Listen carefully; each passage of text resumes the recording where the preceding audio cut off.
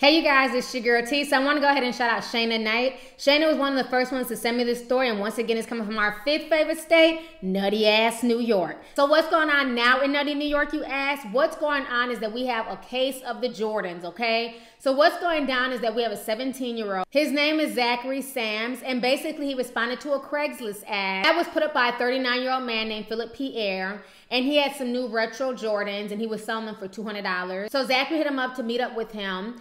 Um, so what's so crazy is that Zachary goes to meet with this man. He gets in the man's car, and instead of giving him the $200 for the Jordans, he ends up pulling out a gun on this man, threatens to blow his brains out if he doesn't give him the Jordans. The man ends up giving him the Jordans. Zachary ends up getting out the car. And he's just walking down the street like everything's all sweet. The dude ends up making a U-turn and literally runs over Zachary, pins him up against the fence, Zachary ends up losing his arm. His arm gets left at the scene. He gets up and he starts running. He tries to get on the metro bus. The man jumps out of his truck, follows Zachary onto the bus, tells the bus driver that Zachary just put out a gun on him. The situation is just insane. The bus driver ends up calling the police, and both Zachary and Pierre end up going to jail. Zachary goes to the hospital. Pierre, the one who was robbed, is now in jail, and he's looking at attempted murder charges. Zachary's in the hospital fighting for his life. Right now, he's in serious condition and he's looking at robbery charges. This entire situation is nutty as hell. I want you guys to go ahead and check out this news clip and I'm going to come back with the rest of my commentary. Kala, the driver of that SUV, as you said, in trouble with the law just about a half hour ago, arraigned on several charges. The top one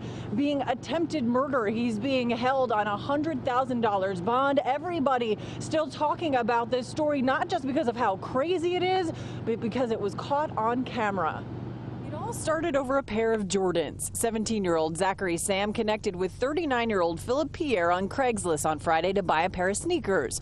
Surveillance video shows they met around 1 near Avenue M and East 84th Street in Canarsie, where police say Sam got into Pierre's Honda SUV and pulled out a gun. The teen allegedly stole the sneakers, and you can then see him slowly walking away and crossing the street. Sam, however, only managed to make it 100 yards with the shoes, and when the driver made a U-turn, stepping on the gas and then struck him. The teen was pinned against the fence and his right arm was completely severed. Missing his arm, police say then Sam ran off and tried to jump on an MTA bus.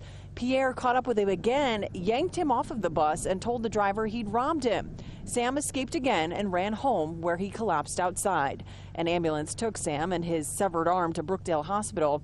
Doctors reattached his arm Friday night. Meanwhile, Pierre's cousin, who didn't want to go on camera, said his actions were done in self-defense. You tell me if somebody pointed a gun at your head and told you he's going to blow it up and the gun jam, what would you do?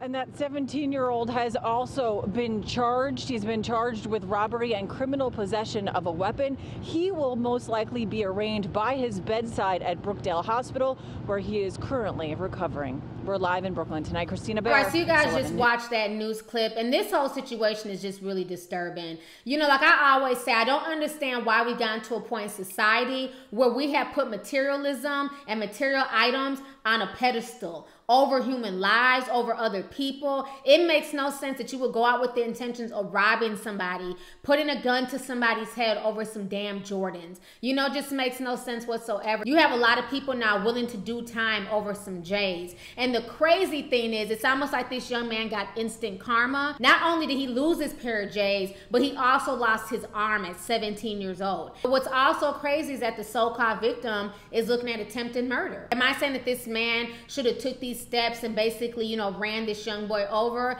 I do feel like that was a bit extreme, but I do understand it. You know, somebody just put a gun to his head, and unless you've had a gun pulled out on you and put to your head, you don't know how you would react in that situation. And for this young boy to be walking across the street like everything is sweet, like he can't be touched, he was foolish. You know, you would think that he would have had enough common sense after he robbed that man to bail out of there, to literally run backwards or run onto incoming traffic so the man couldn't do nothing to him. But instead, he's just walking down the street like it's a sunny day, like it's all good in Mr. Rogers' neighborhood, and like the man in the damn SUV won't run his ass over.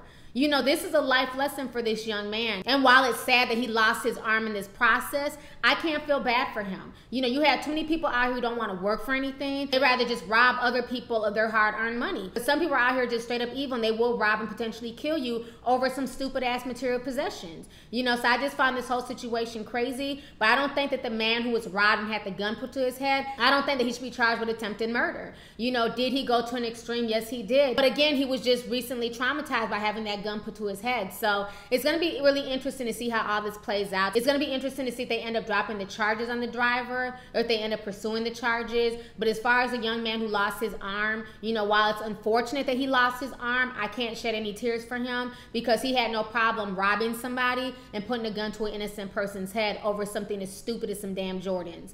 So, anyways, let's go ahead and get the discussion popping. Go ahead and leave a comment. Let me know your thoughts on this entire crazy situation that's once again coming from our fifth favorite state, nutty ass New York. And if you have not already, make sure you guys subscribe to both of my channels, Lovely T 2002 and Lovely T 2013. Don't forget to share my videos, comment, rate, and subscribe. So let's go ahead and get the discussion popping. Go ahead and leave a comment. All right, deuces. Hey, you guys, it's your girl T. Make sure to subscribe, like, and share my videos. You can also visit lovelyti.com to purchase any merchandise. Also, don't forget to click the boxes down below to watch any of my previous videos. Talk to y'all later. Deuces.